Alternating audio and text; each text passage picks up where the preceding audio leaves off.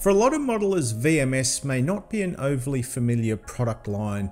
However, for those of us who have heard of them, you will know that there is a buzz growing around this brand. Just like a lot of armour modelers, I first saw the VMS product showcased on YouTube being spruiked by everyone's favourite uncle, Martin Kovac. I loved the results he was getting and the positive way in which he was speaking about the product. I've loved the VMS products I've used, but today I've been given a product that is new to me and is part of their Pigment Jockey range. At first I didn't understand exactly what a pigment jockey did or was, but as I see it, it's VMS's range of pre-thinned enamel paint specifically designed to work with common tones when weathering your models. There are 10 colours in the range at present, spanning over three groups of colour tones. Items 1 to 5 cover the earthy tones in the line, these are light earth, brown earth, sandy earth, dark earth and red earth and please let me apologise to the people screaming at the screen for 4 and 5 being out of order in this picture. I hear you and I will aim to do better next time. You know who you are. Products 6 to 9 is the range of the rusty tones with the track rust, medium rust, fresh and light rust the final colour in the line is number 10 and is a steel metallic colour. The product is marketed for general weathering, splattering and streaking effects. Interestingly, the Pigment Jockey line was developed in consultation with Martin Kovac oh, and it's marketed as a reversible weathering liquid. So if you read between the lines, that means you can reactivate it using an enamel thinner, of which VMS have their own line under the name of Universal Weathering Carrier. Universal Weathering Carrier, however, from what I can tell, is just the VMS mix of White Spirit and from what I understand the other brands should be compatible with this product. Pigment Jockey comes in a 30ml spill resistant screw top bottle. The dropper style of bottle is very handy for distributing and using the paint from a workflow point of view and will be handy for those of you who have been known to knock an open bottle of paint across the workbench. Guilty as charged. Downside of a bottle like this is it's easy for the nozzle to clog. This was the case with a number of the bottles I had, however a small piece of wire or a needle was all that would be required to clear that blockage. I'd had a play with these off screen and was able to create some interesting dusty and dirty tones. I was also able to pair the product with pigment powders to create volume and texture in some of the mud deposits. It was time to switch the camera on now and show you all the steps I took to achieve these effects. The colour that appealed to me most was the number one, light earth. I squeezed some paint into a bottle top and did the same for the universal weathering carrier of which I'm just going to refer to as White Spirit from now on and I was ready to go. The product was applied in a number of different ways. For the front section I began by brush painting a volume of the paint along the bottom edge of the model. I was planning on trying a few different methods along the length of this model to act as a comparison, so excuse the lack of continuity. For the middle third, I applied the paint as I'd done at the front, only this time I blended the still wet paint with an old sponge. The sponge has had some small pieces picked from the surface in order to create an irregularity in the surface. All I'm doing is feathering the edges of this paint, but it's also adding an interesting speckled look to the finish. A second layer of the light earth is sponged over this part again, only this time it's over a smaller area. A hairdryer is a handy tool to speed up the drying process and fast track your workflow with this product. I'm then able to take a flat brush with a tiny amount of white spirit on it and blend the paint in an up and down motion.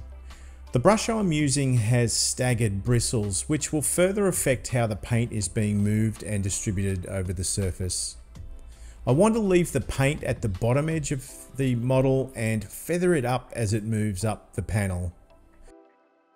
I felt there was a little too much of the dust colour present in this area, so I'm able to remove some of it using a cotton bud moistened with white spirit. The middle area I applied with a sponge is also blended using the flat brush. However, this time I found I didn't have to blend it up as much or remove as much paint due to the way the sponge had already started that process.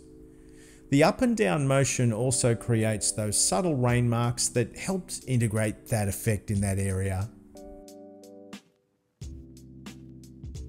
Moving to a dark earth color now, and by using that different tone with the lighter color, I'm able to create the illusion of a fresh dirt deposit or possibly even the look of wet dust.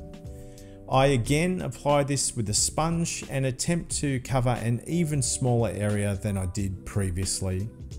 I'm creating these layers and building up the story of this model.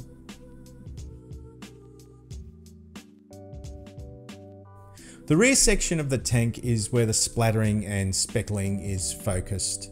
This is the area where the most mud and debris would have kicked up off the working tracks and which is why this technique works so well in these areas. The effect is achieved by loading the paintbrush with the paint, which is light earth in this instance, and then flicking it across a toothpick or an airbrush needle to create the splatters. I'm thinking about the motion of the tank and the movement in the wheels and tracks and trying to angle these effects in a logical and realistic way.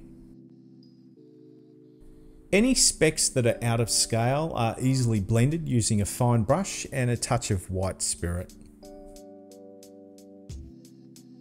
Again with the layering, only this time I'm using the darker colour, the dark earth, but as before I'm applying it in a speckling motion. A quick way to create volume and bulk up your effects using this Pigment Jockey product is to mix it in with a pigment powder. VMS do have their own range of pigments, however I don't have any at my disposal. In saying that, any pigment powder will work. Here I've mixed a European earth with the light earth pigment jockey. Pigment powders need something to bind them to the model as they are notoriously weak otherwise. By adding the pigment jockey, I'm not only able to create a custom color, but I'm giving the pigment powder a binding agent that will help it adhere to the model.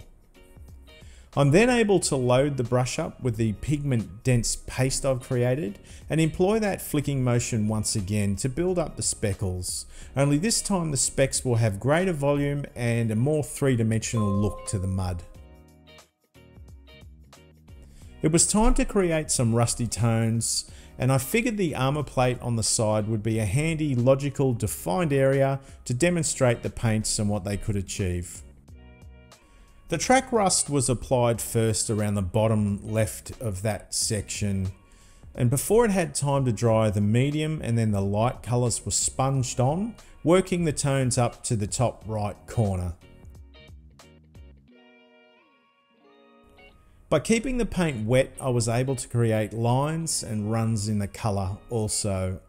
I'm constantly introducing touches of white spirit off a brush into the mix to help the colours blend and merge together and I was able to create some interesting rusty looks in a very short amount of time.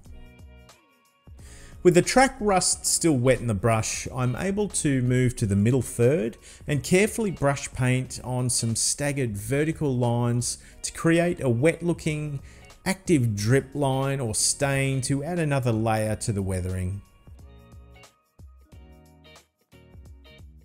That colour is also very handy to re-establish the damp look around the inner edges around that armoured plate.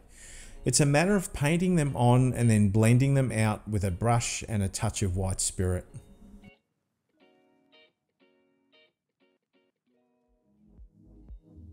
I thought I'd try and create some more prominent dust streaks. So again, with the fine brush, lines of the light earth are painted along the top edge of the panel, and that is then carefully blended in a downward motion. I'm cautious not to remove too much paint, otherwise the effect will be lost.